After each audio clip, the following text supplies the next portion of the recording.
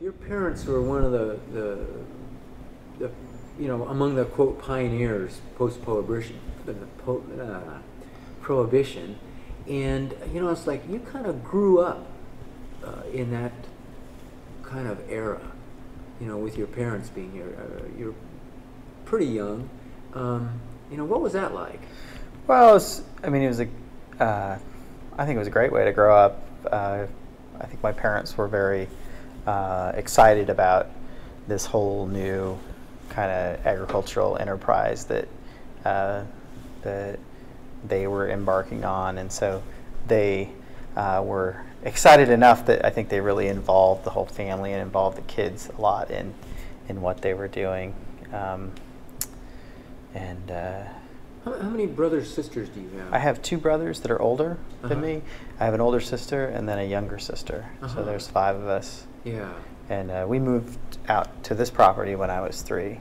When you were three. Yeah. And so you lived um, on the property here right. itself? So uh-huh. lived. Um, we first for the first year we lived in a trailer uh, uh, down um, by the old barn down there, and then uh, my parents built a house that we lived in, uh, Uh-huh. and I lived on site here till I was 18. Uh-huh.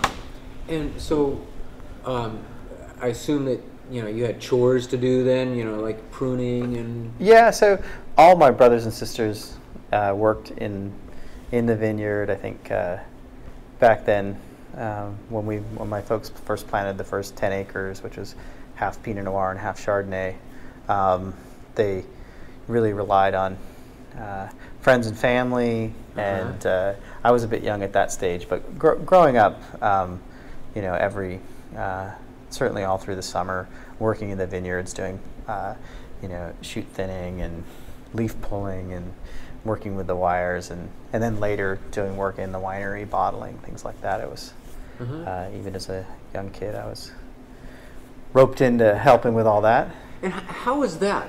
I mean, it's like a lot of kids like resent, you know, um, you know that that kind of work, and other kids are just excited. Yeah, I think we all kind of um, had a bit of uh, bit of resentment to, uh, you know, um, certainly having to work what we perceived as working harder than our peers, Mm. uh, and uh, um, you know, uh, in hindsight, I think we got a lot out of it, and uh, and we're you know, I think we're all better for it, but uh, and certainly I'm more connected to the land because of having done that.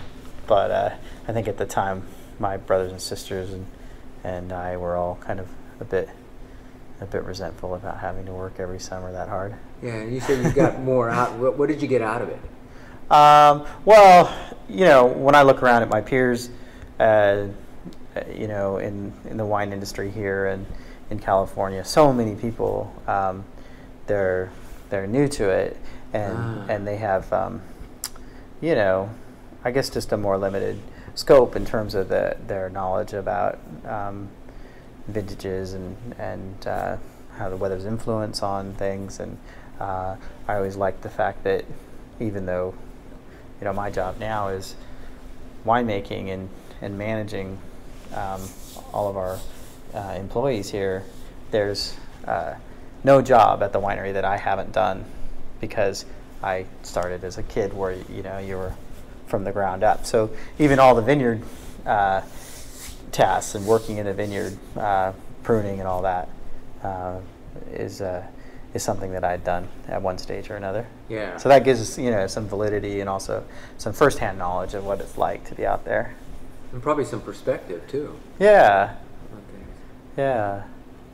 I'm kind of curious. It's like you spent quite a bit of time, like in the vineyard, um, and uh, what what kind of things did the vineyard kind of teach you?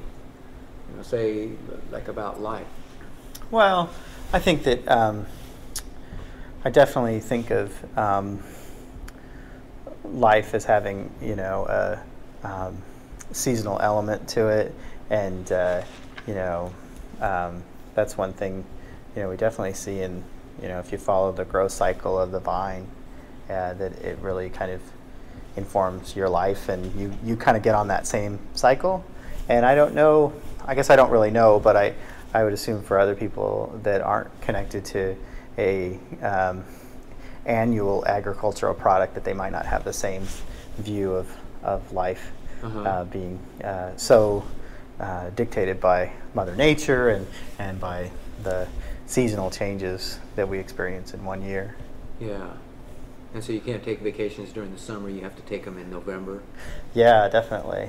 Yeah, we, we don't even think about going away during the growing season, and not just because it, it would be difficult to get away, but just because uh, you know that's what you're kind of you're working the whole year to, to that, and that's you know in some ways the crescendo of uh, the the growing season there in the late summer, Yeah. yeah, and in through then through harvest.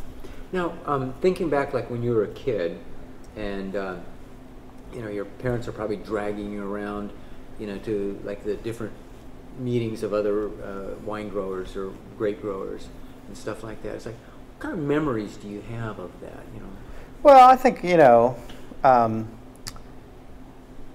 I think you know, really positive memories of um, you know other people in uh, in the wine business, and uh, that, again, it was a group of people that were all very excited and motivated to be doing something different than everyone else. Um, Do you remember any particular kind of, you know, like, I mean, there were some pretty contentious kind of personalities. There were some really strong personalities uh, involved there. And so, like, all these people trying to come together to, to share and, and, and things. And uh, it seems like there could be some interesting sparks.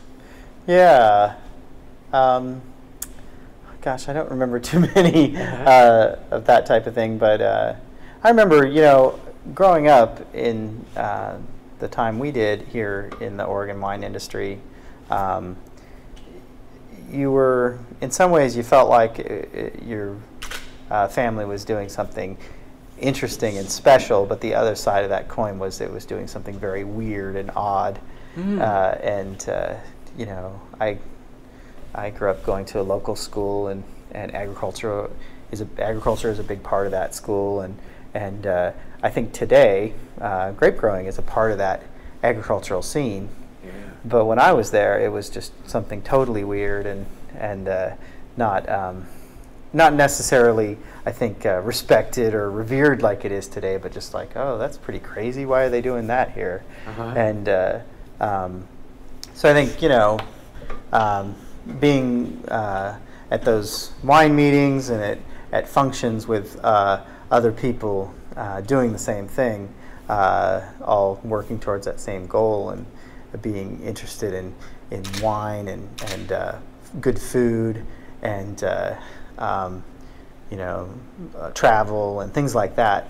It, it was nice because it was different than, than maybe my peers at a uh, you know local schools here in Yamhill. Yeah. Yeah, I don't think I think well when I started school there, there wasn't anybody else in the school that that's parents were doing anything involved with wine. Yeah, that would be. Did they razz you or, you know, give you a. a No, I just think that they were just they kind of didn't didn't comprehend that there was any um, value in in uh, growing grapes. They just couldn't conceive of it. Yeah. So uh, um, I think they just thought it was funny, you know, and Uh-huh. and a bit weird and and Yeah. uh, um, it's a real contrast to today where I think uh, you know um, my kids um, don't go to schools in Yamhill, but I, I have friends that do, and you know in a class of 20 kids there might be five, six kids that parents are somehow involved in in this industry out here. Oh, that's interesting, isn't it? Yeah. Huh. Yeah. Um, oh shoot! I lost the question.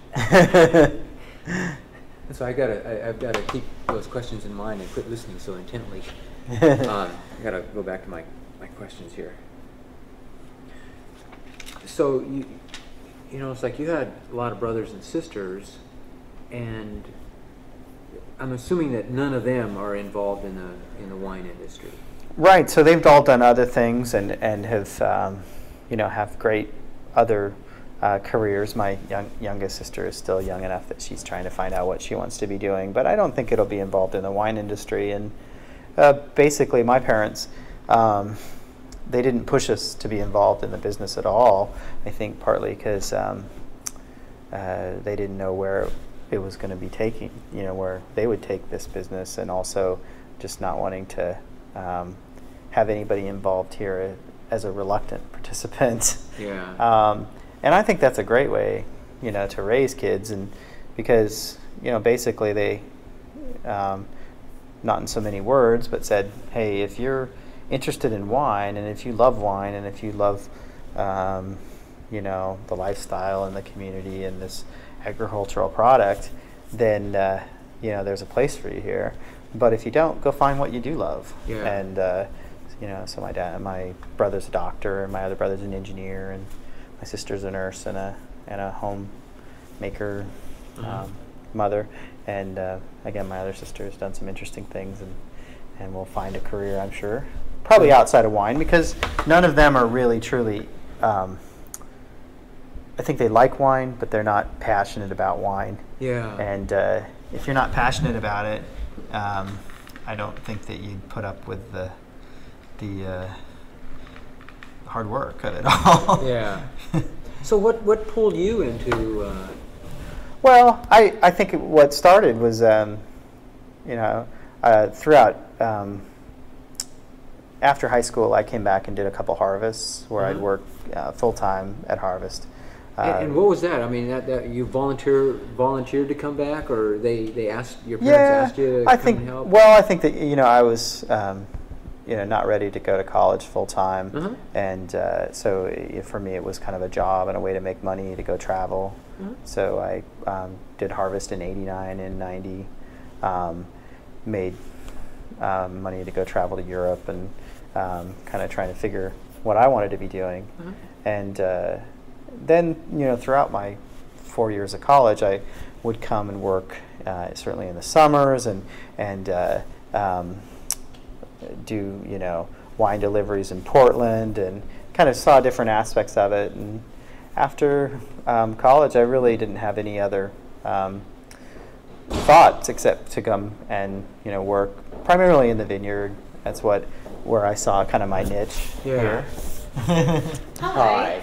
I think we've met before. We have. but We've met in the vineyard. Yes. Yeah. Very glad to meet you again. Yes. And I understand that uh, you had a great time in Argentina. This little thing here. And so, Pat, if um, this is for the transcriber, if you could tell me your name. Pat Campbell. Okay. It's the, the, the, the transcriber knows, you know, and I write notes, but I just want to make sure that they get the right name with the right, uh, because these things have become like 30 pages uh, of, of material.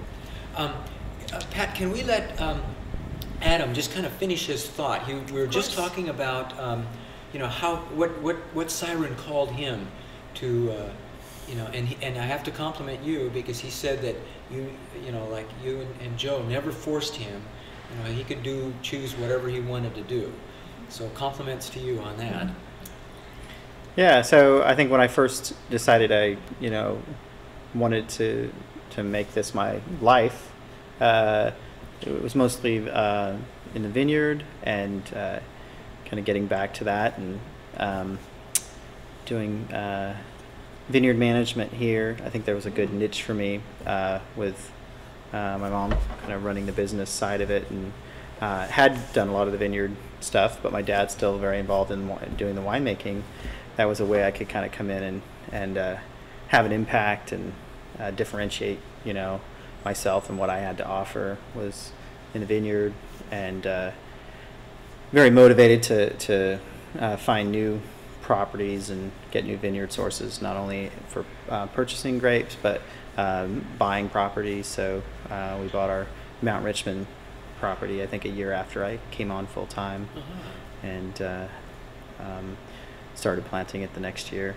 So was there a defining moment, or you know, or was it a kind of a gradual thing, or you know, did um, Yeah, I think probably a, a gradual thing. I think, you know, there's always, um, you know, uh, indecision about how um, comfortable uh, my folks were at having me come in and and uh, to be in charge of, at the beginning, one aspect of our business, but eventually being, you know, in charge of all aspects.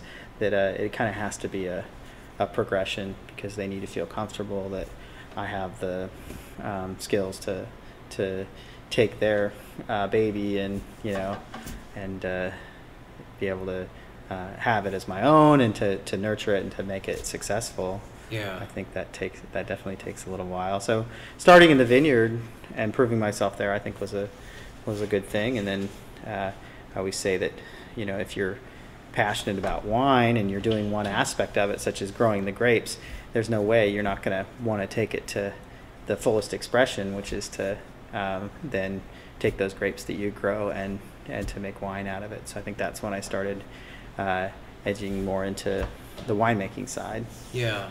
Yeah. And and um, do you remember like any particular moment uh, to go from the vineyard? Because like a lot of people stay in the vineyard and. Um, Yeah, I think it was mostly that, that you know, even though I was very passionate about um, growing high quality grapes, that uh, ultimately you want to, if you if you're into wine and and you you're uh, growing these high quality grapes, you want to have the say on what it takes to make those into the best quality wine. Uh-huh. And so, uh, you know, working in in kind of conjunction with my dad was great because I learned a lot uh, about um, winemaking and and uh, both he and my mom's philosophy on, on making wine. Uh, but ultimately, if, if you're uh, confident in who you are and if you're really into wine, you want to uh, do it yourself and make make uh, make all the decisions about Yeah. about it.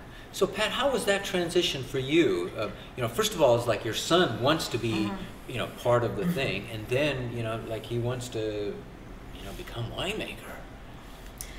Well, I think that when Adam uh, came to us and told us that he knew what he wanted to do with his life and that he wanted to make wine, it was one of the happiest days for me uh, because, uh, you know, you can, we'd been working very, very hard at uh, um, winemaking and, and grape growing for about 21 years and, uh, and just kind of run out of steam. Ah. Uh, and so to have uh, new life come in, um, it just it was just a wonderful thing to have happen, and something that neither Joe or I were expecting, uh, because we just knew well. Adam's Lewis and Clark. He's in political science. He's probably going to become a lawyer, and uh, so uh, when Adam started uh, working with us. Um, I think that was a good time as well because we were able to start making some improvements in the vineyard, um, not only by buying new property, but uh, also by uh, improving the way we were growing grapes. Uh, what was that in specific? Uh, well, by uh, severely limiting the crop on the Pinot Noir, and uh, which involved uh, more work in the vineyard, um, So more by thinning. thinning, Uh, and uh, we'd always rub buds too. But I think that we we took it much more seriously, the trellising uh, early and uh, leaf pulling, and uh, and then the crop thinning, which are all things that uh, we discovered were very very important for making better Pinot Noir, was very important to start doing that because the competition in the wine business was getting fairly fierce and, and you you really had to also start making better wine so you could raise your prices uh, some. Um, and I guess uh, our prices were pretty low back Uh-huh. in those days.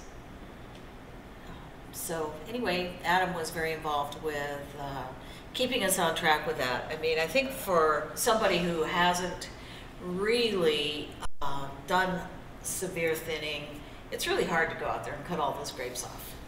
Um, but uh, So you were used to like, um, your in your spacing is like what kind of tonnage per acre were you used to, and then what did you go to?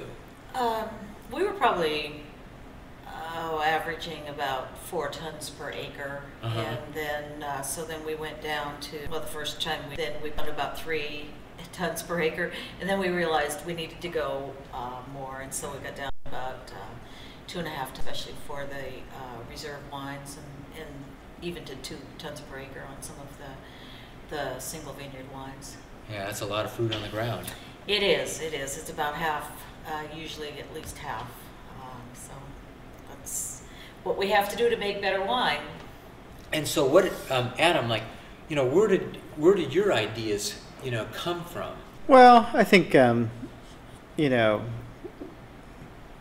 getting really involved in the in the grape growing and um, you know trying to you know come up with ways to increase the quality. Um, basically, just listening to my peers and talking with them and and finding out what other people are doing, and then uh, you know incorporating some of the ideas that I thought might work, doing some trials, um, and uh, you know, really dialing our vineyards into to where they would show best, and and uh, um,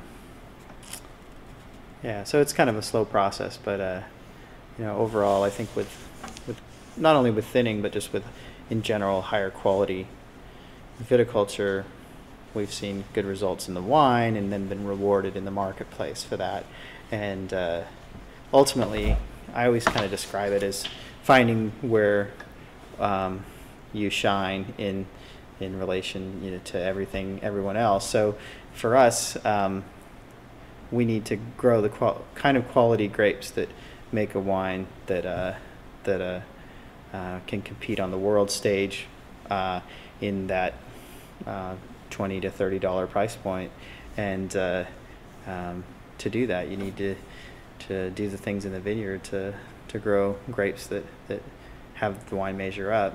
Yeah. Yeah. Yeah. Um, that a whole flood of questions here.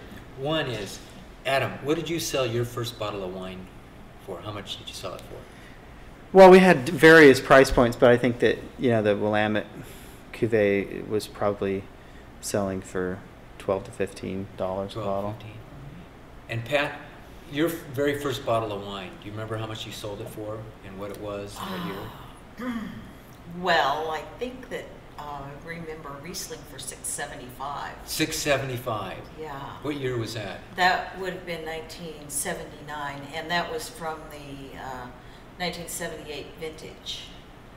And uh, I think that our Pinot Noir was about $9 uh, at that time, Yeah. and that was from the 77 vintage. So. And but you didn't have a tasting room, so you're selling it through like No, a, we did have a Oh, you tasting did? room. Oh. We, we, well, we didn't have a tasting room until 1981, but uh, that's when we built this building. But uh, we did open up to the public, um, you know, a couple times a year uh-huh. uh, down at the old bar. at the barn. Mhm. Yeah. Oh, fantastic. But you know, like I think about the same back then as it is today, where you know only ten percent of our wine we're actually selling at that retail price. Um, oh, the other ninety percent is essentially sold for half that retail price. So, yeah, when you're talking about a twelve dollar bottle of wine, it, for us it's really only six dollar Yeah. bottle of wine. But I'm, um, what I'm doing is like I'm asking that question of almost everyone. Yeah. And I'm, I'm, I'm picturing some kind of a chart or something like that through the years. yeah, Uh, and so I need to have something that's common. And if, if I ask some people retail and some people wholesale and things like that, then Yeah. I don't know how to chart that. Right. Uh, because like some wholesale is 40, some 50. Um, and so if I just say, you know, whatever you sold it to the public for. Well, and I think you know the thing with, uh, with us now are that same Willamette um, Pinot Noir for us now sells for twenty nine dollars. But and and it, really, it's it, you know we're not trying to be snobby about it. and We're we don't you know I don't have anything against. Um, I enjoy buying wines for less money than that. Uh, but it's it's part of this finding out where you shine and finding out where Oregon shines. And honestly, it, Oregon just doesn't shine in that twelve dollar price point because if you if you have to make all the uh, you have to have the yields in the vineyard and compromises in the winery to make a twelve dollar wine and make it profitable. Uh, this isn't a good climate for you to grow grapes in Yeah. and uh, I I think it you know it starts uh, you know probably at the twenty dollar price point where you can actually do the things necessary in this cool cool climate to to ripen grapes and, and to take care of them in the winery. Anything less than that, especially for red wines, it would be very difficult. Yeah. So you're not worried about two buck chucks coming in and. Uh, uh, Yeah, I, I don't think that that could ever happen in Oregon. And anybody selling wine for super low prices, uh, uh, they just wouldn't be around because you wouldn't be able to financially make it because it's such a marginal climate and the yields are so low Yeah. and the farming costs are so high. Hmm, farming costs are high uh, compared to, and why? Um, mostly because of the hand labor it takes to um, grow grapes on these hillsides and to uh, grow quality Pinot Noir. A lot of the handwork, it's not easily, um, you can't easily mechanize it. Uh-huh. And then all the, you know, we do over three thinning passes to adjust the crop level. And if you were in a, a warm climate on the valley floor, uh, lots of mechanization, they could probably grow grapes for a third the cost of what we do. Plus, then their yields are higher because their climate's more forgiving. Uh-huh. Um, so, you know, um, I think that uh, we just have to be uh, settled into the notion that we're going to have high farming costs. We're going to have to have low yields. Therefore, you should uh, shoot for the highest quality you can do. And and there's things that we can do up here that they can't do in those warm climates, such as you know make fully flavorful Pinot Noirs. You can't do that on a with uh, flatland farming. I Yeah. don't think. yeah. One of the things, Adam, that you said is like you said you were listening to your peers. Pat, I want. I'd like to get your perspective on early on, like when you um, started. What was that like? I mean, you weren't you weren't from an agricultural community. Uh, you weren't from, you know, that kind of bent. All of a sudden, you decided to to do a vineyard. You know, um, what, Well- what was the Well, actually, uh, I did grow up in a farm family, not Oh, a farm family here in the Willamette Valley, but uh, over in Hood River. Oh, okay. And uh, we grew um, apples, pears, and strawberries. oh, okay. Uh, and that did influence me to want to go into some kind of farming. But um, of course, growing grapes is quite different than uh, growing um, trees in an orchard. Um, but uh, in the early years, um, my dad was somewhat helpful with, uh, you know, uh, equipment. He really didn't know anything about growing grapes, but uh, he knew about growing plants. hmm And uh, so he, he gave us some advice. We also, uh, you know, visited wineries and vineyards uh, here in Oregon. There weren't a lot of them. Yeah. And, uh, and then also in California, and uh, Burgundy, France, in uh, 1976. And um, and I think that you know we were always very good about asking a lot of questions and um, a lot a, a lot of what we did we did you know from the seat of our pants or by by the book. I think Winkler uh, probably a lot of us were reading Winkler, uh, who, had uh, probably the best book on viticulture at that time. Uh-huh. And uh, but we learned a lot from uh, some of the other people like uh, Rath and um, Dave. Well, not so much Dave Lett, but uh, Charles Coury, which you probably don't need. I mean, i maybe a few people have mentioned him. I, I'm very familiar with him. Yeah, okay. I wish that he was He- still alive. Yeah, he really was very helpful as far as uh, encouraging us to uh, go uh, to like a six by seven planting, which nobody really had done in Oregon at that time. Uh, and we bought a 48 foot, I mean 48 inch uh, crawler uh, that could go down the rows. Uh, and I think that was that was a really smart smart advice on his part, and smart that we took his advice. Uh-huh. Uh, because you know our vines, um, those vines are still um, alive and well and producing, and um, and we're glad that they're at a six by seven uh, spacing rather than you know, a lot of people were going like eight by eight or. I think at the times, at the time it, the vineyard was planted, it was the highest density planted vineyard in Oregon, certainly. Oh, is that, and so, and what, what uh, year did you start? What- We what- started in 1974. 74. Mhm. And so, and, and that was because Coury suggested He- to. Yeah, uh, he suggested that. He also encouraged us to uh, buy his plants, of course, which were the Pommard clone of Pinot Noir, which we're still very, very happy with that particular clone. Yeah. Uh, and so, um, he also encouraged us to, to buy his Chardonnay, which wasn't very good, but uh, we've since grafted that over the, the 108 Chardonnay. Uh-huh. So the root is the same, but you've grafted. Uh We grafted Uh-huh. that to Pinot Gris. Uh huh. Yeah. And then I would say, uh, um, you know, we, we definitely kept in contact with our peers and, and we had meetings at the, you probably heard about the Tigard uh, Firehouse and, and um, that was, that was always very informative and uh, we learned a lot by going to those meetings. Um, I'm kind of curious what that culture was like. Um, you know, it's like, uh, you know, meeting together. You know, potentially your competitors, but uh, you know, you're early on in the in the thing, uh, or in the in the wine industry. I think there was a lot of tension there as far as the feeling, you know, like, okay, how many people can get into this and where are we going to sell all this wine that we're making? Uh-huh. Uh, because, you know, at that time, there were, there was probably, I only really remember one, one wine shop in Portland. Um, and uh, there were restaurants, of course, and the restaurants were very supportive, I think, of the industry from the very beginning. Uh-huh. Uh, uh, but you know, there. Uh, I remember it's kind of a funny story, but when we presented our very first wine, uh, at was at the Tigard Fire Hall. What year was that? That was uh, 1979 Uh-huh. and we it's the very first wine that we presented in public and i happened to be the one selected to present the wine to the group and so we poured the wine around there were about 25 people there uh, from all of the wineries that were here in oregon at the time and uh, one of the winemakers from another winery um, uh, you know, after he tasted the wine, he said, if it was my wine, I'd dump it down the drain.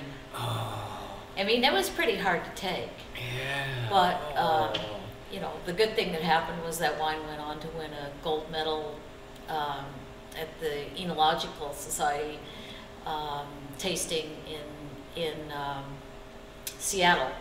So, um, you know, we we thought it was a good wine, and Yeah. uh, the judges up there thought it was a good wine, but uh, you know, I it was very. That must hard. have been Yeah, hard. It was hard. I can almost guess who that personality was. Well, you know, I'm not. I'm not saying a word. Uh, Was it the contentious one? Uh, well, I, I would say, all I'll say is that, that UC Davis trained, okay? Okay, okay, yeah, okay. Uh, that's who I would guess the, that, that was. But, But, we, we boy, had when you left it- encouragement from other people. Like we had, we got a phone call one night. Of, um, it was about eight o'clock at night, uh, and and someone had one of the other winemakers called us up and told us what a wonderful wine he thought our. I think Oh, it was. wow. I think it was our 1979 Riesling. And Uh-huh. he just had tasted it and he thought it was wonderful. And so that was good. And he was UC Davis trained as well. But anyway. Oh, okay. uh, and then we got He, a he was one of the two original UC Davis. yeah. trained. Okay. right. But then we got a call uh, one night from um, from someone in California, from I think it was Dunn Vineyards, Uh-huh. and uh, they said they had just tasted our '79 Pinot Noir, and that, what a lovely wine they thought it was. And this was New Year's Eve, and uh, we were so you know it's like. I think there were there were some good things happening and there was also some negativity, but you know I think that's just the way it is in any industry. Uh, although I would say in our industry, there's probably more helping and more support than a lot of industries. Uh-huh. Yeah. I, I hear that a lot um, of people, you know, hey, my something broke, you know, can I Mhm. borrow yours? And uh, yeah, um, there was always that um, camaraderie as far as uh, being helpful, and, and uh, I think uh, for the most part, people were really, really very kind to other people getting into the business. One of the things that I'm wondering from your perspective, and then I'm going to ask Adam, is at that time there wasn't really like a big, you know, Oregon wine industry. I mean, you had to probably scrape for your for your clientele, and and you know, Oregon just was in the very budding stages of, of this whole thing. Talk a little bit about like your markets and and um, I'm, I'm you know I'm sure that you know as an industry you have to kind of come together uh, to to develop uh, enough wineries and enough presence so that there's something to talk about. Mm, definitely. I think that was probably our biggest problem when we were first starting is that uh, there was just a very small amount of wine. Uh, and uh, at first we had uh, good support from a national um, company who uh, brokered uh, a lot of the winery's wines. Um, What, in- what, what company was it It was? Robert Haas, uh, Ah. out of, uh, I think he was based in Connecticut then, but I think somehow, I think he has, his company is based out of uh, Alabama. Alabama now. But it's called yeah. Vineyard Brands now. Yeah, Vineyard Vineyard Brands. Yeah. So, uh, and he was, he was very supportive in the beginning, but I think what happened was that uh, the industry started growing pretty quickly. We had a couple of really tough years, weather-wise. That was like uh, in 80 the second part 81. of 80s? Oh, in early, 80 and okay. 81. Um, that was 80 was a volcano, so it was a very cool year.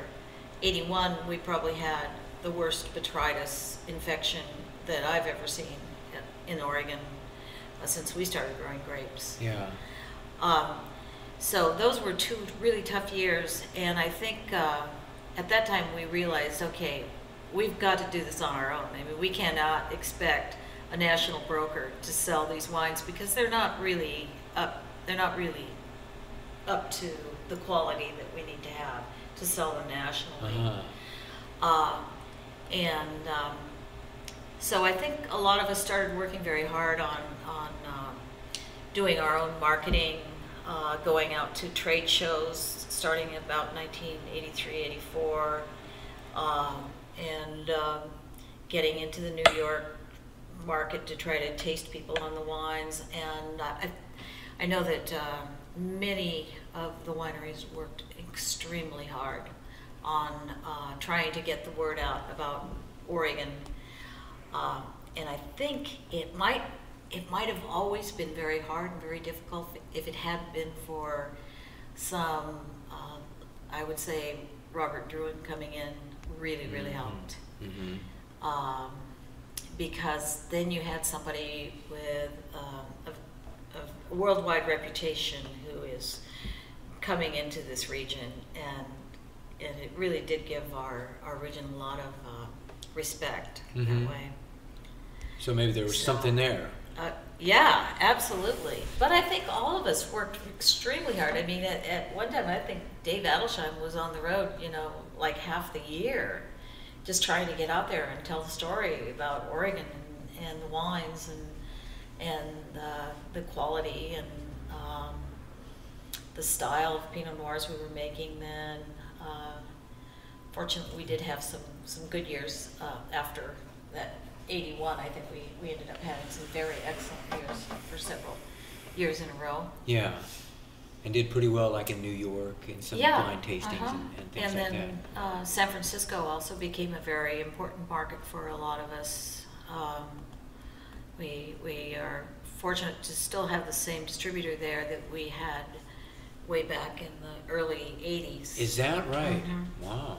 and he he is incredibly well respected um, in the California and probably uh, Nevada markets. I'm Yeah. not sure, you know, probably nationally as well. I just don't know. He's he has a reputation for having a, an excellent palate, so he, he I think helped a lot of us in uh, getting our marketing going, and he Yeah. really believed in Oregon wines, which.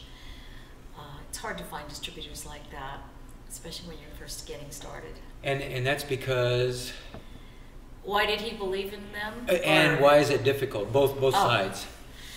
Well, I think he believed, he really believed in Oregon wines because he really thought that they had um, the um, kind of um, flavors and finesse that a lot of the, the great wines from Burgundy had.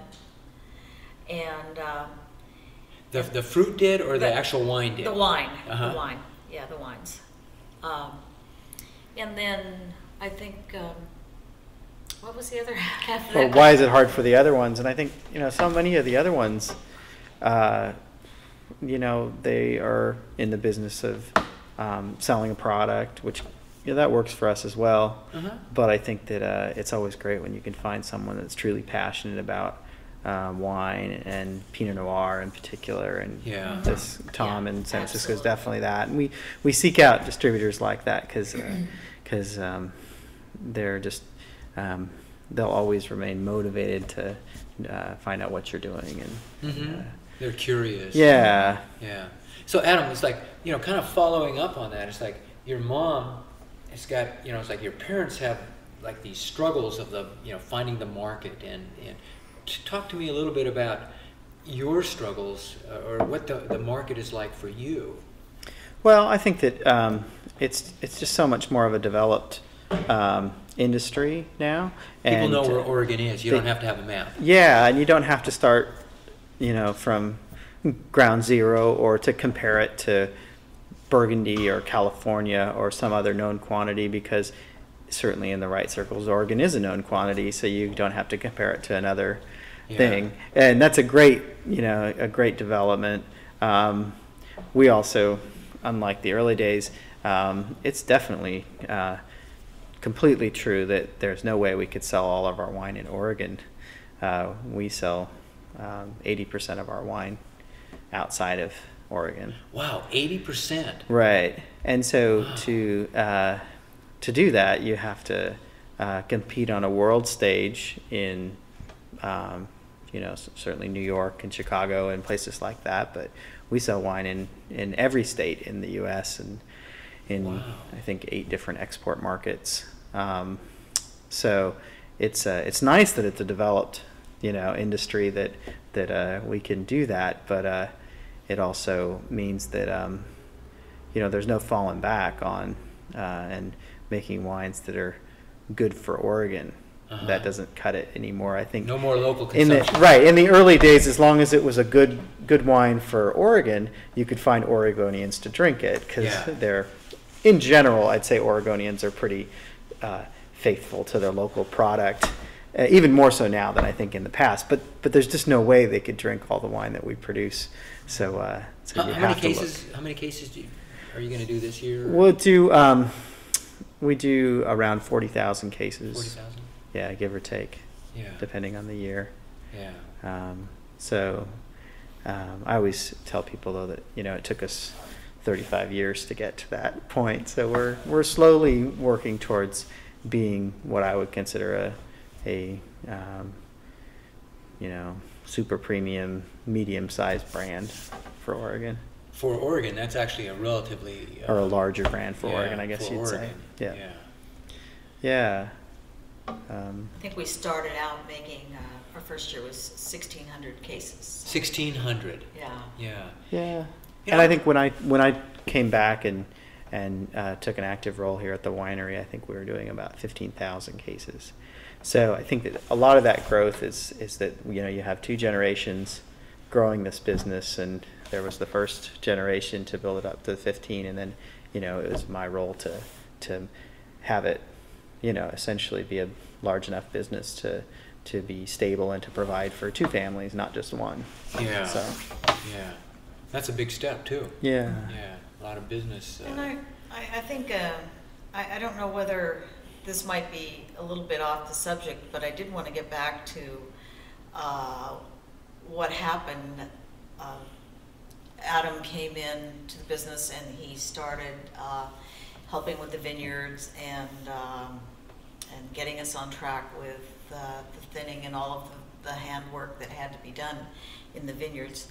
Uh, and then a, a couple years later, um, we um, let him make some of the decisions um about the winemaking.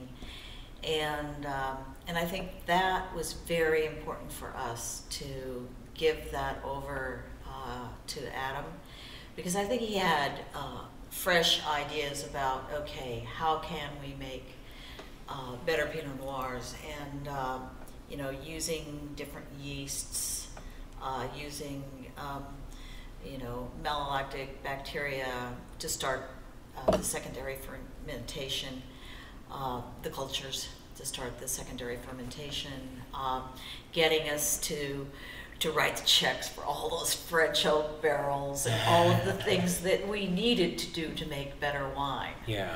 uh, which I think uh, for Joe and I, we we had always made pretty good wine, and so we were pretty happy with okay, this is the way it's going, and we are doing this Uh-huh. thinning, and the wines are still good.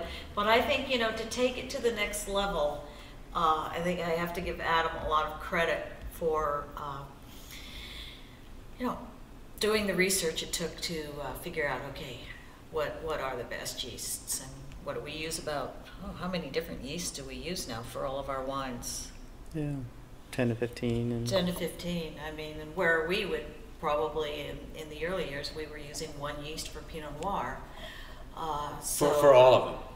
Uh, for all of them, it, maybe for all of them, we would be using four or five different yeasts. Uh-huh. Uh, we, but uh, I think the fact that you bring in um, different yeasts, uh, you can just get different flavors that are going to be adding to the whole picture of, Yeah. of the of the wine. So, how many do we use for Pinot Noir? How many different? probably ten. Ten different ones for Pinot Noir, which Yeah, it's pretty amazing. And then probably another yeast for each of the other uh, varieties, right? yeah.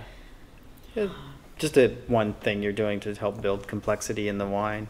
Uh-huh. You know, I don't think it's the most important thing we do, but I think that uh, it's definitely one of the winemaking tools that you you're crazy if you don't use. Yeah. So Pat, I'm kind of curious too. It's like at that transitional moment when you're you're thinking, okay, Adam, let's let's let's bring him a little bit more into that role. Tell me a little bit about like your feelings. It's like, what, what are you thinking? What are you feeling? Um, you know, It was very, very hard. in in what way? Well, it was very hard to um, give up control. Mm. And I think, you know, not only for myself, but for Joe as well. I think that, uh, you know, you have things that you've been doing a certain way um, for so many years. And uh, to go ahead and, and decide, okay, well, there are different ways to do things, and, and uh, there can be changes made.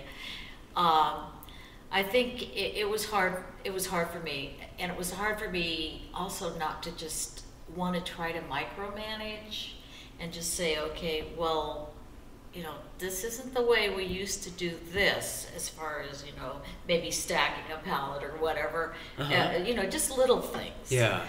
And uh, so I think um, for us, we just we just uh, had to um, kind of just get away from the winery quite a bit and just to allow Adam to to do to work with our employees the way that he approached working with employees instead of the way we might have approached it Uh huh.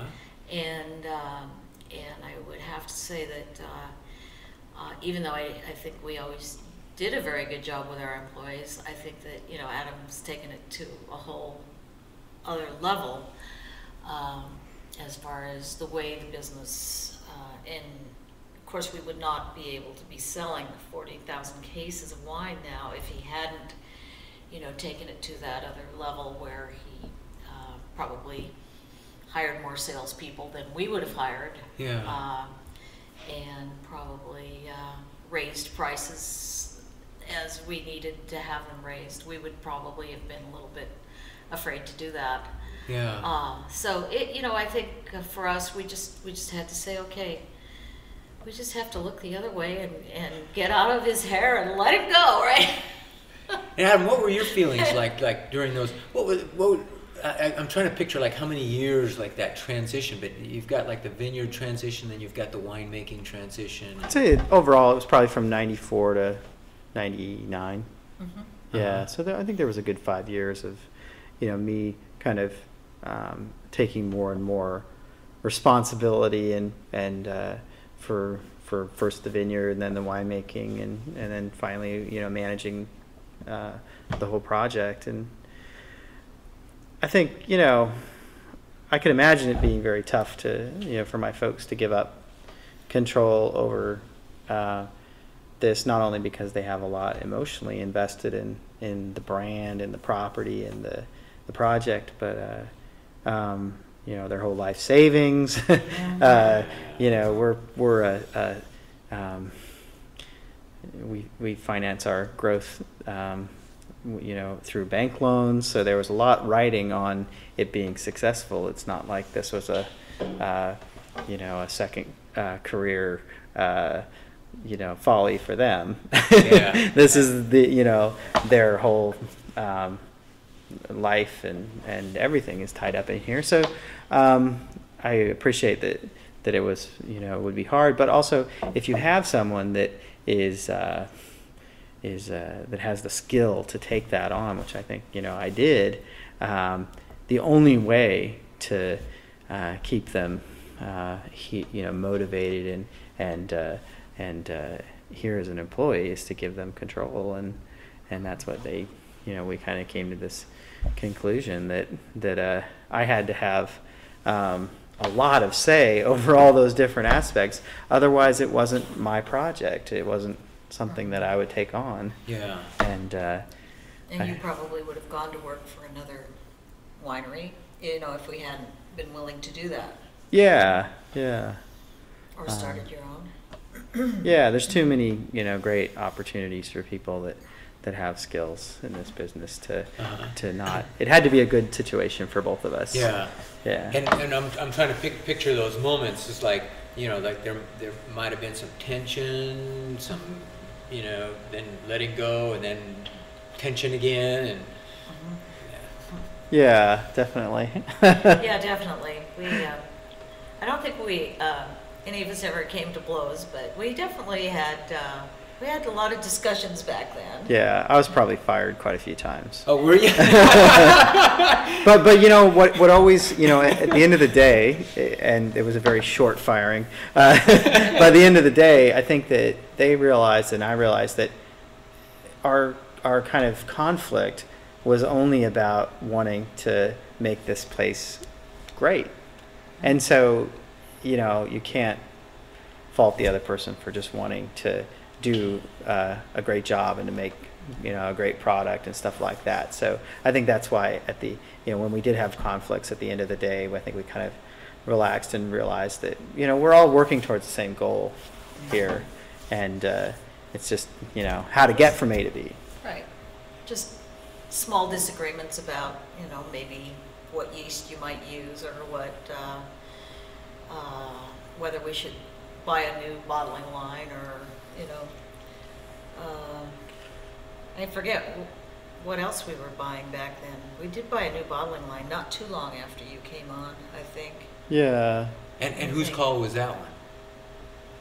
Um, I, you know, I my parents were always really supportive about buying new equipment, and and I think that I just had to give them the confidence that uh, we were going to pay for it through, um, you know, making uh, wine that more production that was higher quality that we could sell for more money, Yeah. and uh, yeah, I think I remember more conflicts early on when maybe they weren't as confident about my abilities, and that once uh, once I had quite a few a few years under my belt, and that we uh, were seeing you know uh, seeing things uh, turn around in the market, and, and you know have success and and uh, have these things get paid for, then uh, they were uh, very supportive. Yeah. Um, boy, just a lot of questions here. Pat, um, what does it take to make a great bottle of wine? Well, I think you have, you have to start with soil and climate first, probably climate first, and then soil. Uh, and then, uh, good plant material, uh, has to be the, one of the clones that, that would be, do well on that, on that soil, in that climate. And, um, and then you just have to manage those those grape plants um, per, almost perfectly because otherwise you're not you're not you're going to be getting too many grapes from those plants. Uh, and that and that won't work at all. Uh, you'll have a thinner weaker wine. Um, and you know in the early years mother nature often determined okay how many grapevine or how many tons we were going to get per acre. And we got some small tonnage but every once in a while you get mother nature would be very kind and you get all these grapes and Uh-huh. those were the years that were that were probably more difficult uh, Because you had to. well because we were getting too many uh, too much tonnage per acre and so the wines were not as um, as rich and full bodied and flavorful as as they should have been then I think you uh, you actually do have to I think age that wine age the wine with Pinot Noir you have to age it in in uh, very very good um, probably French or Oregon oak maybe that I don't know if people are having any success with any other kinds of like Eastern European oak Mhm. but um,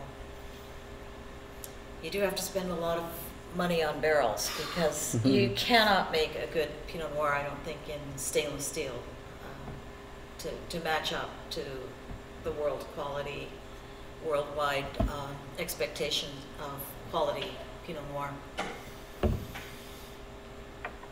Uh, so that's Pinot Noir, but of course, then we, we aren't talking very much about the uh, white grapes, but um, the white wines. But I think with the white wines, from my perspective, you still have to start with the soil and the climate, uh, but then you have a little more leeway on crop level. You can get a little larger crop.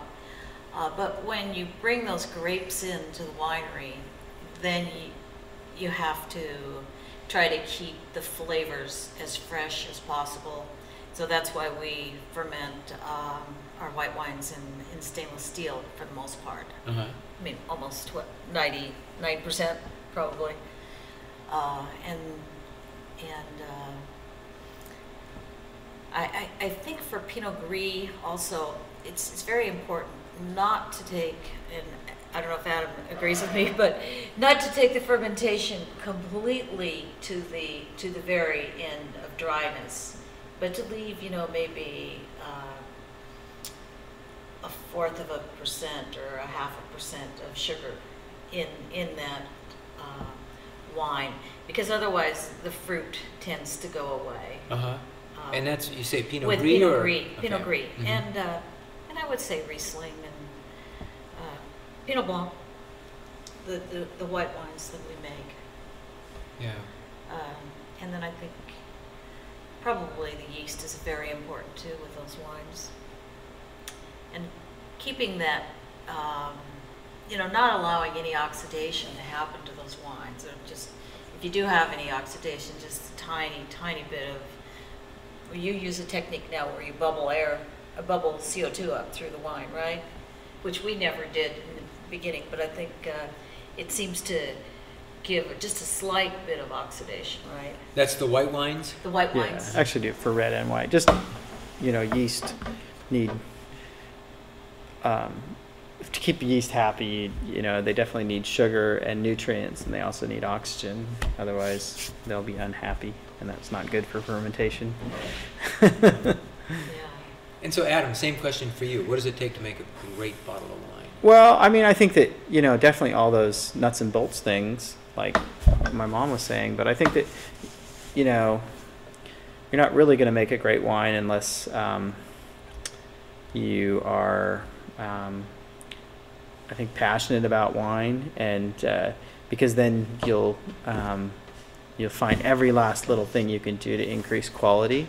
If you want to make a wine that that you really want to drink, and even at our production level, I still kind of am guided by that philosophy that that I mean I really love wine and and I want to make wines that I like to drink, and um, the hope is that you know you can find enough consumers out there that have a similar taste in wine, uh, but because because I, I think otherwise you won't make the fullest expression or the best example of that type of wine unless you're kind of making it for your own table a bit, Mhm. and then uh, and then finding customers from there. Yeah. I think, and, and for me, that's really, um, you know, obviously 80, 90 percent of our thought, you know, and and your work as a winemaker in Oregon goes into making Pinot Noir because that's by far the most important uh, grape varietal, and it's what we're all here to be doing. Um, and so I do a lot of work thinking about how to make that great bottle of Pinot Noir. Um, and then I like making uh, white wines that I like to drink, uh, Alsatian varietals, fresh, crisp, you know, great summer wines, and Uh-huh. Pinot Gris, Pinot Blanc, that kind of thing. Yeah. Yeah. I think uh, probably a, a lot of what, what you're talking about, Adam, i- with the Pinot Noir is just the the huge amount of care that you have to give to those wines when they're aging and uh, when you're moving them. moving Yeah. The wines, and which you do mostly by nitrogen uh, pumping, right? Yeah, use gravity or nitrogen pressure to move the wines, and yeah, constantly thinking of how to make that wine better. And you know, that's one of the great things I think about Pinot Noir, is in particular, uh, and you know, certainly true in Oregon, is that I always say, you know, the best quality Pinot Noir in Oregon next year, the, the absolute finest out of the thousand that are made, you know, it, it might be made in a really fancy facility and and uh, with fancy equipment, but it could almost just as easily be made in a garage somewhere in Carlton or up here on this hill, or um, and that's because it's kind of the great equalizer as far as varietals go. Um, the equipment uh, can all be replicated with very low technic, low um, low technique kind of equipment, and uh, you know then it kind of comes down to who has the best vineyard site, who takes care of the, the vineyards the best, because you can you know replicate gravity with a forklift. You don't need four Mhm. levels of winemaking uh, space to, to do gravity. You can do it just as easily. Uh, you know, in a garage or under a tent or anywhere. And uh, so then it really comes down to who can get the best quality grapes. And, uh, and that's kind of exciting to me because, um, you know, through whether it's through sourcing from bought in fruit or, or now, you know, we have five different sites around the valley that we're going to try to grow those best quality grapes. In any given year, I feel like I have just as much shot at making the best wine in Oregon and, and certainly um, you could say in Oregon that uh, if you're making the the best quality Pinot Noir in Oregon, that might be the best quality Pinot Noir made that year in the world. Because I think that um, in any given year, the best Pinot in the world could be from Oregon, or it could be from Burgundy, maybe from New Zealand, maybe from California. Um, there's lots of lots of great spaces to do that in, and and uh, then it kind of comes down to who who does the work and who has that best soil and exposure and site out there. Yeah. Pat, did you ever think that, you know, like someone could actually say that when you were starting out? That, No. yeah, I think that uh, I think that we have come a long way from where where we were in, in the very beginning of uh, when this industry started. I mean, it, uh, it it is it is truly gratifying to hear um, Adam's passion for the grape. And I think, you know, in the beginning, we all thought, oh, well, let's just, let's just hope we can make some wine that'll sell. and we think we have a good grape variety for this climate, and we think our soils are good, but, you know, let's just see what we can do and make it sell. yeah, yeah. You know, that kind of reminds me, it's like, that, that's a relatively a short period of time, you know, 30, 40 years, uh, where all that has happened, where Oregon has become world class. And so, like, in going forward, what do you think the Oregon wine industry will it last as long as like the French wine industry has lasted? Um, you know, like there's a lot of changes going on, uh, big wineries buying, you know, in big money from California coming in.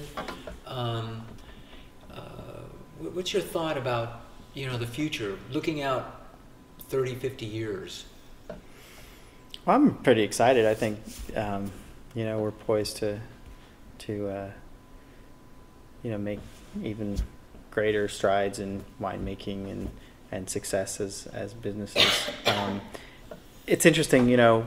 Um, sometimes I think about, oh, gosh, which is the best vineyard site in Oregon? You know, is it you know Roosevelt or Shea Vineyard or um, you know something over in Dundee, and and then I think, gosh, we've planted so little of our potential great vineyard sites in Oregon that I kind of think you know if you have to ask that question, probably the best vineyard site in Oregon hasn't been planted yet, and uh, um, you know because we've just kind of scratched the surface of, of great vineyard sites. I think we're you know, people are experimenting with higher elevations and steeper grades, and and uh, we're certainly looking to, you know, double our vineyard acreage in the next five years, all on what might be the best best vineyard site in Oregon. We don't know, Yeah. and uh, and so that's exciting. I think when you you know you talk to you know, friends and acquaintances and uh, in Burgundy, and and uh, all the sites are you know they're all taken, and Mhm.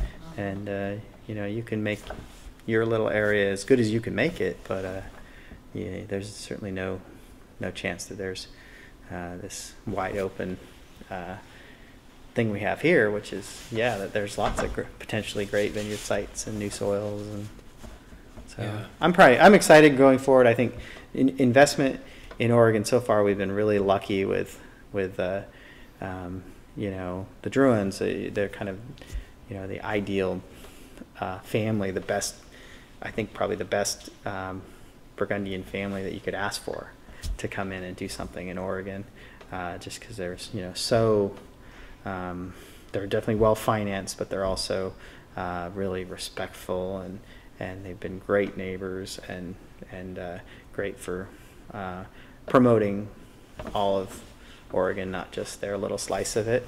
And uh, I think the folks from that have bought Erath are are going to be uh, really good in a different way, Mhm. just being um, very much a big business that that uh, is in the business of promoting uh, um, wines from each area that they own wineries in, and um, I don't I don't see any any downside. I, I kind of our um, little area out here in Yamhill Carlton um, is maybe a little more down home than some of the other areas, and I like that personally. Uh, but all all big projects and big investments, as long as they're here to to make high quality wine and promote Oregon in addition to their own thing, I'm I'm so you know I'm all for welcoming them. Yeah. What about you, Pat? What, what do you see like looking out in the future? Um, I'm, I'm much more hopeful, I I have to admit, after the election, uh, Uh, with the solving, uh, hopefully solving of the, the Measure 37 debacle. And what was it that concerned you about the 37? Well, I think that uh, if if you think about uh, Oregon has probably the best land use planning of any state in in the union, uh, and if we hadn't had that good land use planning that started in in 1974. Um, a lot of the really excellent vineyard sites probably would be five acre parcels with, uh, you know, a small house or double wide on them in, in Yamhill County and, uh, in parts of Washington County and Polk County. Uh, and so if we were to go the other way, I think that a lot of potentially good vineyard sites could, could, uh, be ruined. I mean, and actually some of our, some of our, the people in, in the wine industry, uh, were hoping probably to do that. Um, To do what? to divide their land up and, and, uh, and they had applied, applied for Measure thir- thirty-seven relief. Uh-huh. um, Which Boy. is too bad. Yeah, But, uh, I mean, you know, we, I'm much more hopeful now because, uh, if we don't have, if we don't have the land, um, there's, there's no way it can happen. Yeah. And, uh, and not that we have to grow hugely or be, be gigantic, but, uh, there's still a lot of really excellent sites out, like Adam was saying, that, out there that it, it would just be a shame if, if they were to have become houses or small developments, um, Yeah. and couldn't have become maybe the best raspberry field or the, you know, the best organic farm or, or uh, the best vineyard. Um, But I'm, I'm much more hopeful now. Um, And as far as I think the commitment of the people in the industry, a lot of the young people who have come in in the last 10, 10 to 15 years, I, I'm just so impressed Com- with i- i- what are you impressed commitment by? to making good wines, Uh-huh, okay. commitment to growing good grapes, and uh, you know, I, I think for the most part, it's it's just fantastic. So they're they're more committed to making good wine rather than just a business. It's just a business to produce Mhm. a two buck chuck. Yeah. Yeah, I think so for the most part. I, I don't know, I haven't heard about any big proj, I mean, there are some big projects going on, but, um, you know, the, the CalPERS projects, but. I think I- everybody's fo- focused on the same goal, though, which is to, you know, promote Oregon on the world stage as making super high quality Pinot Noir, definitely, and white varietals as well, uh, to a little lesser extent. And yeah, I think there's still a lot of, um, there's still a lot of you know small projects that I think kind of infuse a passion as well. That's kind of nice too. That you know, uh, people uh, coming up to um, to be assistant winemakers here in Oregon that are going to eventually start their own small project and be doing high quality. You know, pushing the envelope on on what you can do. I think we've really barely scratched the surface too on uh, the potential uh, worldwide market um, as an industry, don't you? Yeah, we get sometimes we rely. I think you know the U.S. is such an amazing wine consuming um, place. You know um, that maybe we we don't pay as much attention to export as we should. Yeah. Uh, we're we're definitely doing a lot more work in terms of export to not only f- to expand markets but to um, promote yourself on the world stage, not just here on So your home turf. What will it take to, to do that? That uh, then you're competing against you know the big time. You know the guys that have been doing yeah. I mean, we feel we feel confident. I mean, we you know, we, you're in some ways you're already doing that in places like New York and Boston, and you're you know from a quality standpoint you're competing on the world stage. Um, but yeah, when you you know when you sell wine in the UK or Japan, it's uh, you know um, there's a lot of people that have you know if you're a New Zealand wine producer.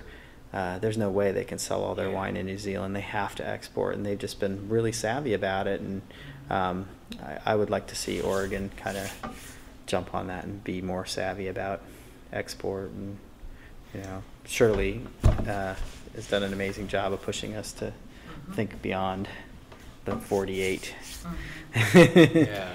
And you know, who knows, maybe, uh, um, you know, once there's a little pressure from the, uh, you know, the, the, I, I think right now, it's just that the national market in the US is just still really expanding for a good quality Pinot Noir. Yeah. But once there might be a little bit more pressure and, and the expansion might not be quite as easy, then I think. We might might appreciate those export markets a lot more. Yeah. I know. I did. Um, I had uh, some dealings to do with an attorney in California, in Napa, California, and he said, "Don't pay me in cash. Pay me in Oregon Pinot." Okay. that's good. And so that, that that was really Yeah. insightful. And that was like a couple years ago. Yeah. Yeah. So, so you guys are doing, you know, doing something Well, Yeah. I think, about marketing. I think that uh, we're, we're still positioned pre- pretty well too as far as price. I think if you compare prices of Oregon Pinot Noirs compared to like prices of, of good quality uh, California Pinot Noirs, Pinot Noirs, we're still, we're still a little low, quite a bit lower than they are. Uh-huh. And then you know certainly high quality, you know anything really good um, from Burgundy now it's just in amazing. It's in the you know eighty dollar plus category now, especially with the euro being so Mhm. strong. Well, I was going to say, it's like right now, America is in incredible for export, incredibly good position because our dollar is so so weak. Yeah. Compared to the to the euro, and you guys Yeah. should be sending bottles over there. We should. Yeah, although Yeah, Right absolutely. it's interesting too because it uh, it helps us get into those markets, which that's what we're looking at. Is like, okay, now's the time. Strike while the iron's hot. Let's get a, get uh, established there. But by the same token, it also helps us in the domestic market because our competitors are a lot more expensive now. So it's kind of like it's easy to just kind of say, oh well, you, you know, domestic competition's not as great, so we'll just sell it all here.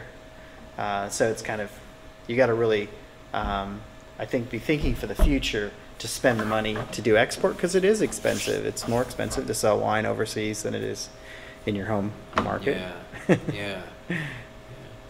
What advice would you give um, to somebody that? Uh, how, let's see. Maybe I'll ask it in a different way. Um, how? What advice would you give me to, uh, like, about tasting um, wine? How, how do I taste wine? How should I taste wine when I go into a tasting room or? Do you want to? Um, I don't know. I, I think approaching it um, maybe less from a. Um, sometimes people think they have to deconstruct the wine uh, to understand it, and they need to say, "Oh, this Pinot Noir has." you know, cherry and raspberry and some chocolate and mocha and and that's uh, those things are really helpful, especially as a winemaker and as a um, if you're comparing different areas, if you're a really motivated consumer and you, but um, I don't know. I really think people should uh, kind of fall back on do they like it? Does Uh-huh. it taste good? And uh, then I think one of the easier things to do is to say, well, what kind of foods does it go with? And uh, you know, it certainly makes it a richer experience to have it with food, and and uh, um, it's kind of how I think most folks, uh, winemakers, would like to see their wines in, in that is paired paired with with food. food, Uh-huh. and and I think it's also just a little easier because I think you can get kind of caught up in the deconstructing of a wine, and, and then you kind of lose sight of the fact that it's just a lovely product, and Uh-huh. you don't need to, you know, analyze exactly what this or that is, and um, yeah, I mean, I think one of the biggest examples is that um, sometimes wines um, they a flaw to one person is good to the next, and Mhm. you know you kind of don't want to. Um, I, I, a consumer doesn't need to analyze a wine uh, like a winemaker would.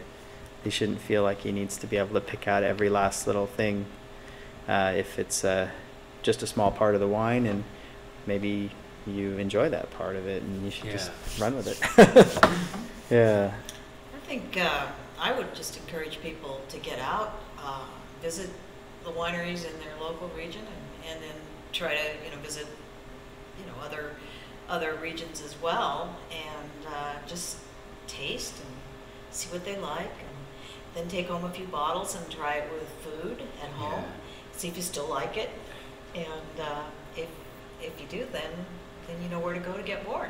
And if you want to get farther into it, I think an easy thing too, and I find it still very interesting, and probably the most interesting uh, as far as comparisons go, is to compare different wines from different soils or areas. And we certainly have that in Oregon with the new kind of smaller AVAs. They were split up, and some better than others, to kind of highlight different styles and qualities of wine that come from not not so much from climate, but primarily from soil. And our area in Yamhill Carlton is, for the most part, sedimentary soil, 90% or something. And those wines are definitely different than the wines from Dundee.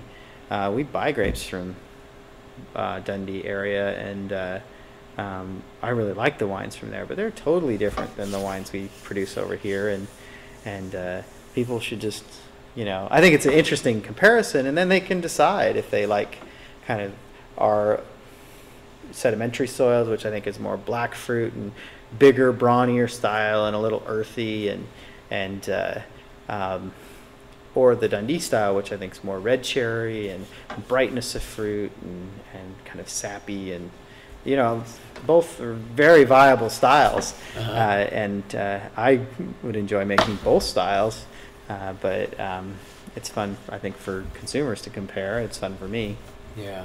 yeah Definitely. and that's the great thing about wine is it doesn't taste the same you know it's you know i always think about beer and that's the whole goal with beer is to make every bottling taste the same as the last one you know as far as if you're making an ipa you always want that ipa to taste the same and Yeah. for us with wine it's it's you know what the year gives you what the soil gives you yeah it's all that's part of the charm Yeah.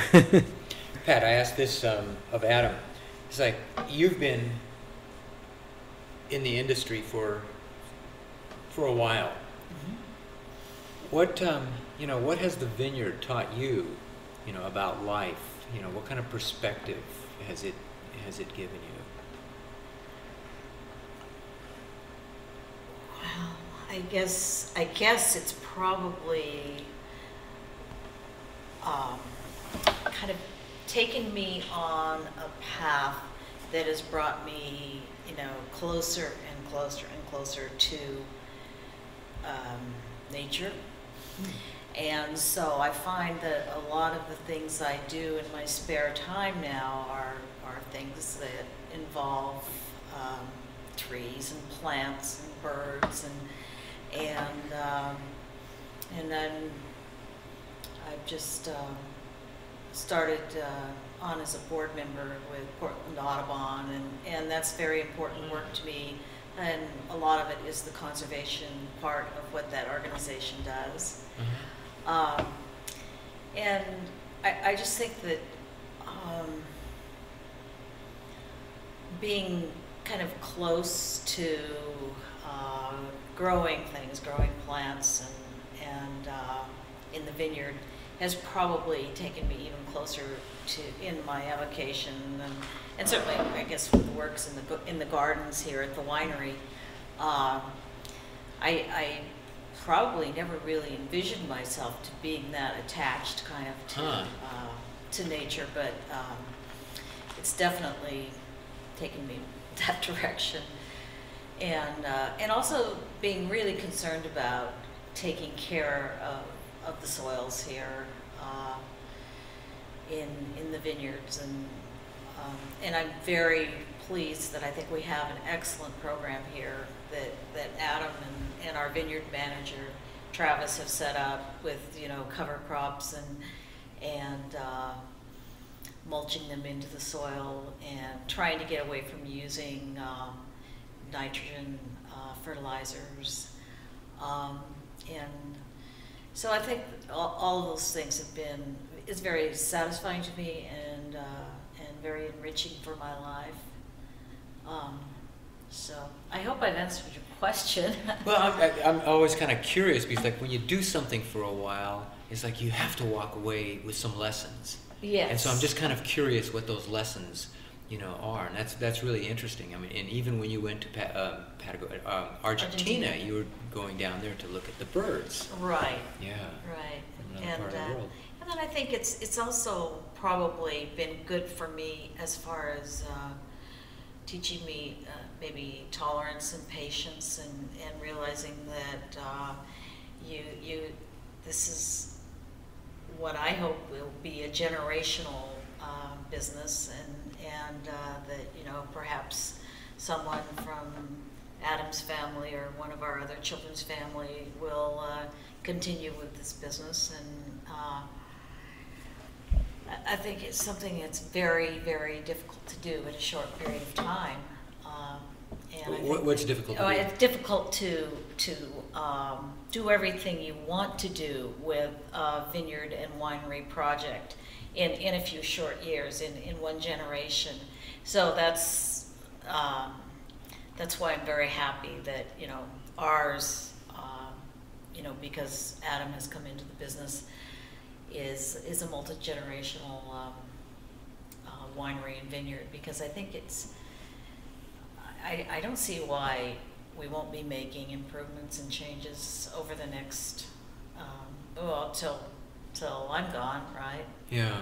And uh, it would be a shame too, I think. Um, we know a lot of people who, who did sell their wineries and vineyards, and and uh, and for some of them, the reason was because they didn't have a family member that wanted to uh, continue. Yeah. And so I'm I'm very very pleased that uh, that wasn't the case with us, and, and that I'm able to kind of benefit in not only financially because this is our retirement, but also, uh, you know, be a part of of the changes that have happened here Uh-huh. at, at Elk Cove and with the Oregon wine industry. Yeah. And so now you can actually um, let like all those tense moments uh, go to the wayside. You can look back and you can see, hey, Right. yeah. This is, you know, like probably the question I should have asked you first, but what was it like? What siren called you to, um, you know, to do this winemaking stuff, this vineyard stuff?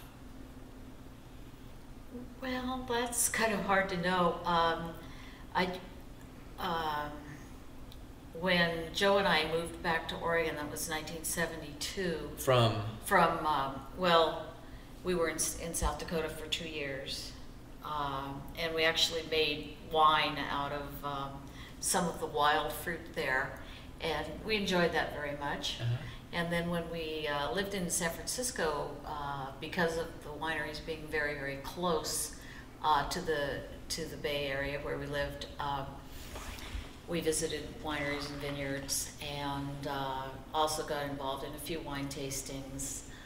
Uh, and it was pretty remarkable. Uh, one tasting I remember in particular was a tasting of white Burgundies, and uh, and it was quite uh, amazing to me that there could be such a difference between the wines from the different uh, wineries in the different regions. huh. And uh, and then um, so then when we moved back to Oregon, um, we started thinking about okay, we we both enjoyed gardening. Uh, I thought, well, okay, maybe we want to garden on a bigger scale and, Uh-huh. and buy some property. And uh, we weren't really thinking of winemaking at that time. But uh, after we bought this property, uh, we started thinking about it because that seemed to be one of the crops that people were growing.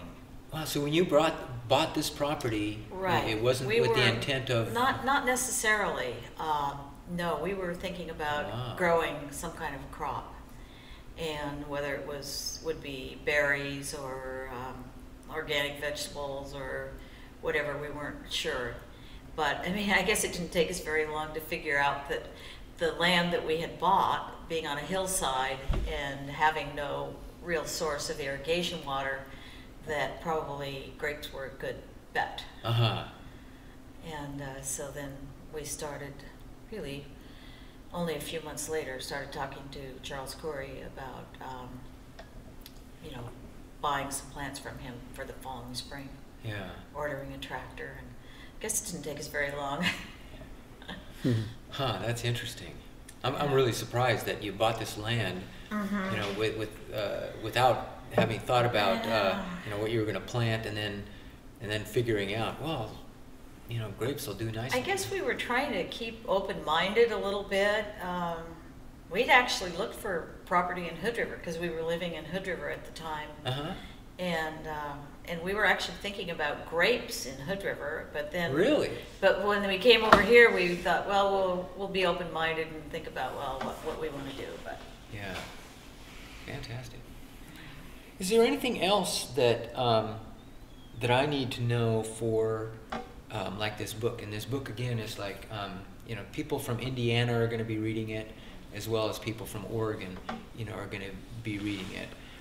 Well, some of the things I think are interesting relating to the when these guys, you know, started planting here is I think at the time there was only about 200 acres of grapes in all of Oregon, Uh-huh. and I think when you planted first grapes here, have Yeah. you tasted any wine from Oregon? Uh, maybe one you know, commercial wine. It was very hard to find any wine But I to think taste that's- from Uh-huh. Oregon.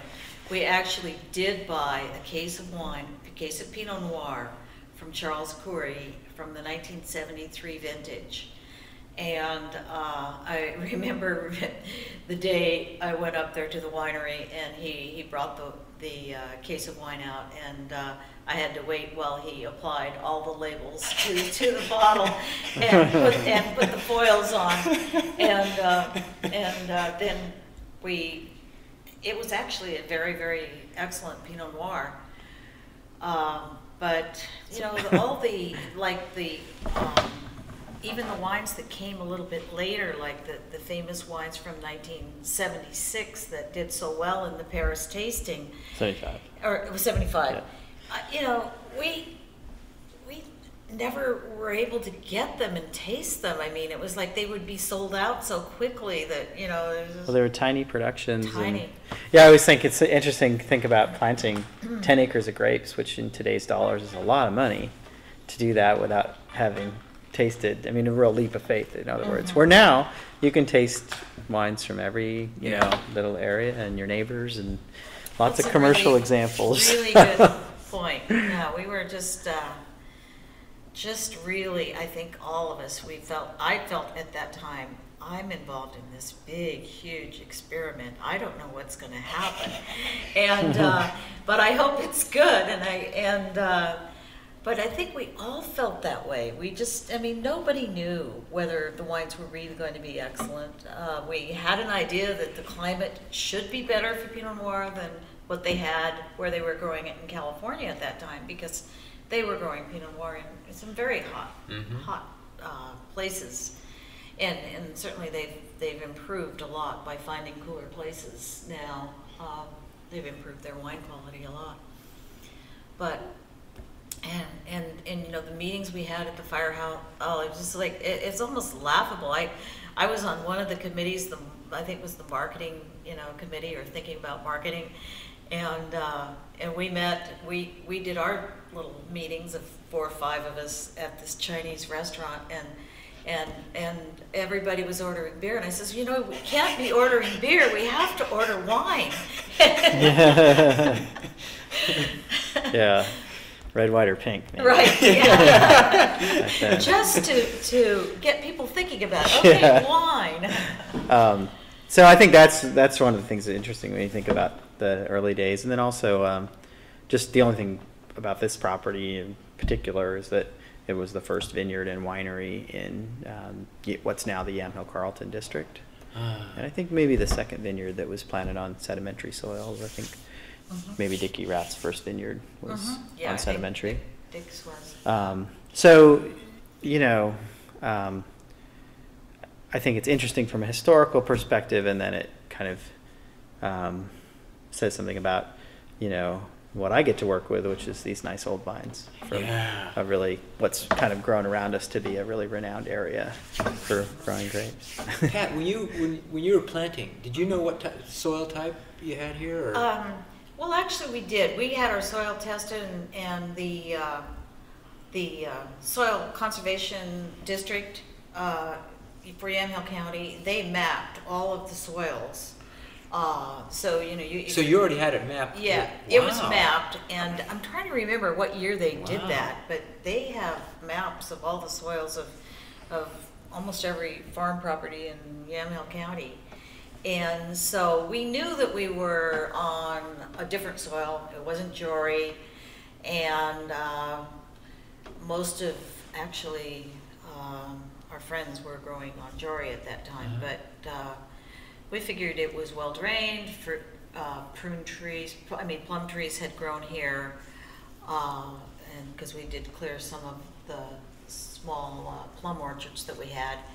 And so we knew that probably the, the grapes would do well on this soil. Yeah.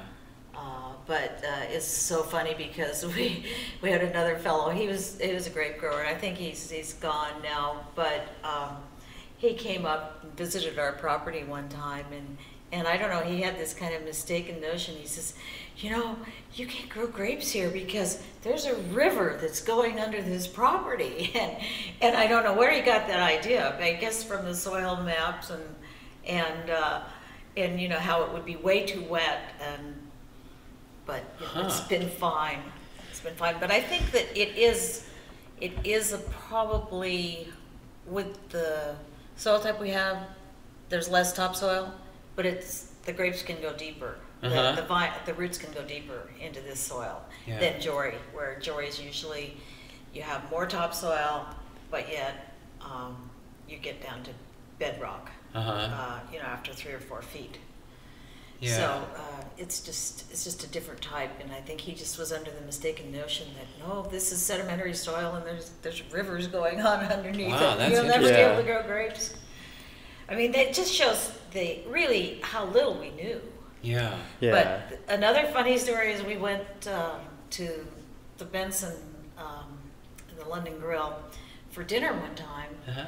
and uh, and you know we were ju- I was probably our first or second year of growing grapes out here, and uh, so we told the wine steward that we had a you know small vineyard we just planted out here, and he said. Oh, he said, no, you can't grow. You can't grow uh, European varieties here because the minute you put them on the soil, they're going to revert back to the American variety. so, but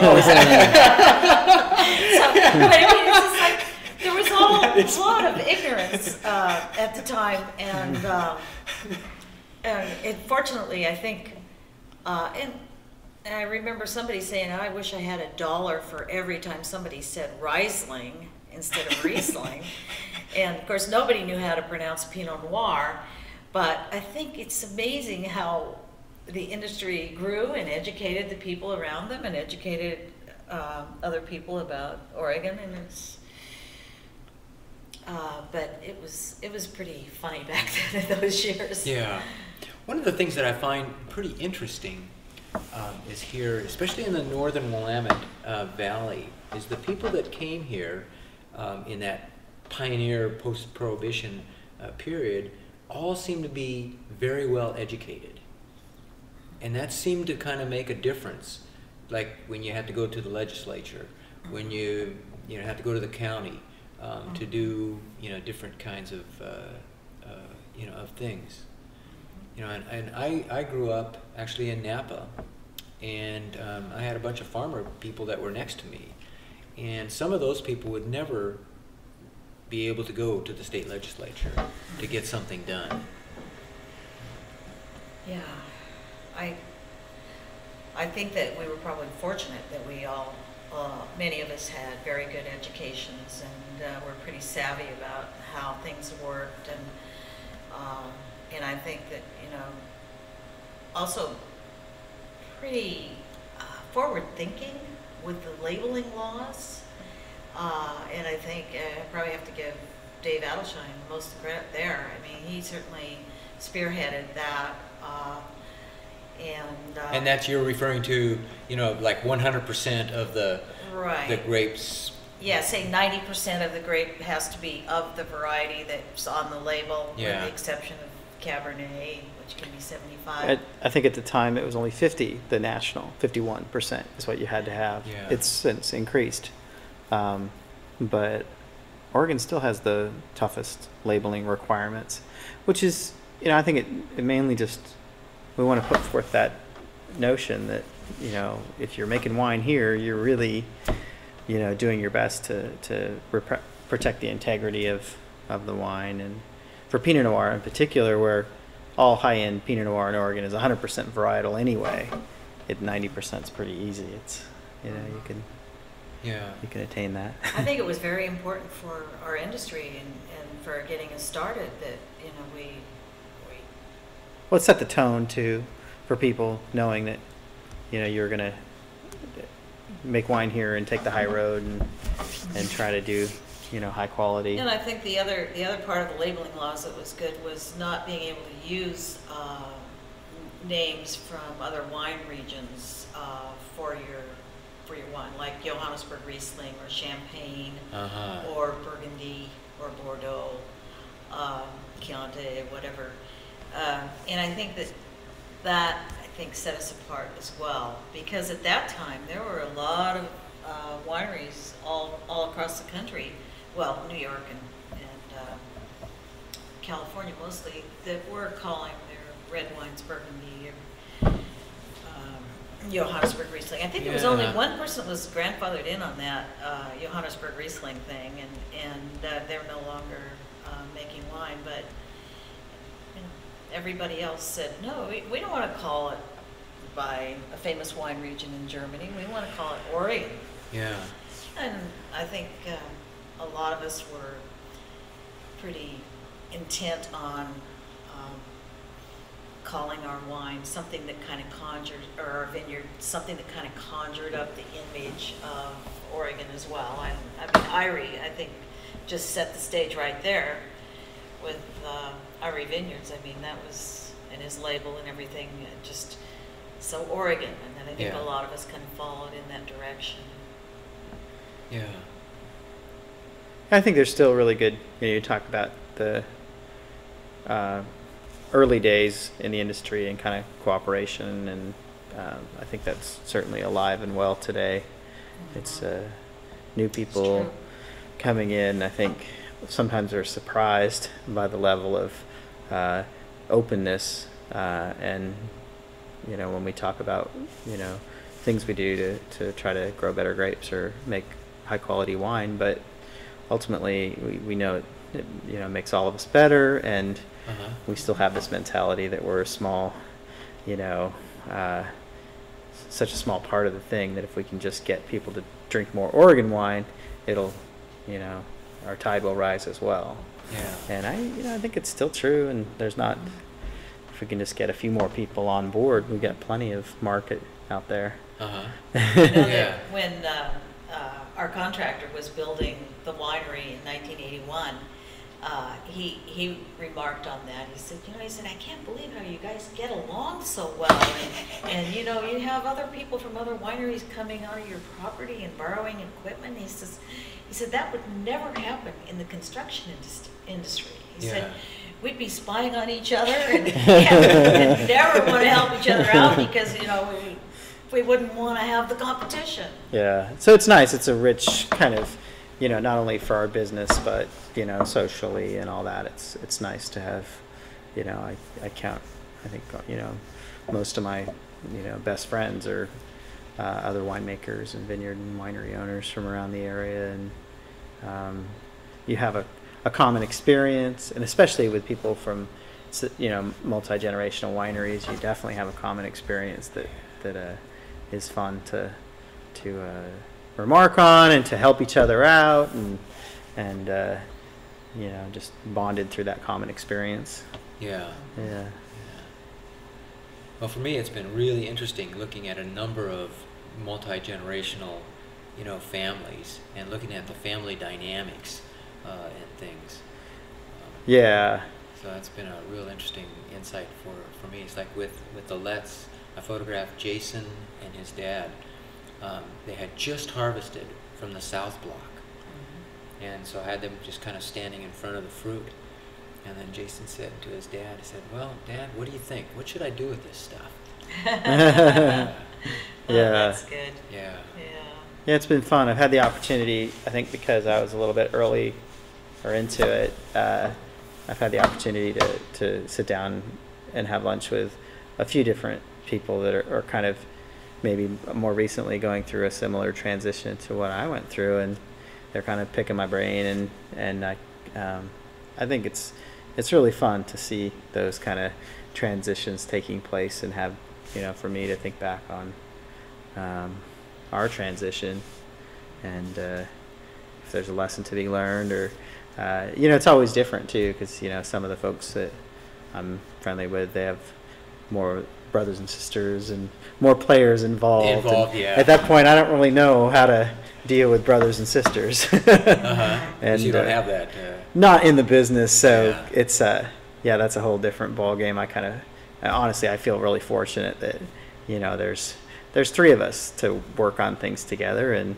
essentially two families working on this together, not five families. Or uh-huh. yeah, yeah.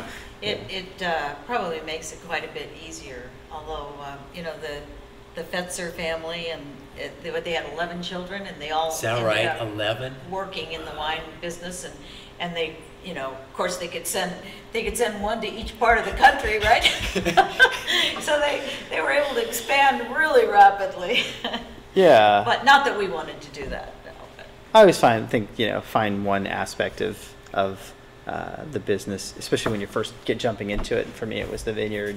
Find one thing that you can make your mark on and Uh-huh. and really uh, have an impact, and uh, and then you can do anything from there. You know, Yeah. rather than to try to understudy the whole role, just find one aspect of it and run with that. Yeah, yeah. It's true. And then, then if, if you want to grow from that, Right. Yeah. Yeah. Yeah, and so I mean, I think that's where I know when uh, my uh, sister, who's almost ten years younger, was contemplating it. I think, come, come on in. You know, there's we'll find some, you know, some aspect of it to take on, um, and uh, you know, I think you know, for us now, I think it's that's probably not going to happen. But if there's a one of my kids or a niece or a nephew that that wants to uh, be a part of this business, there's definitely roles Mm-hmm. For uh, and just find what they're yeah best at and Uh-huh. have them take that on. Yeah. yeah.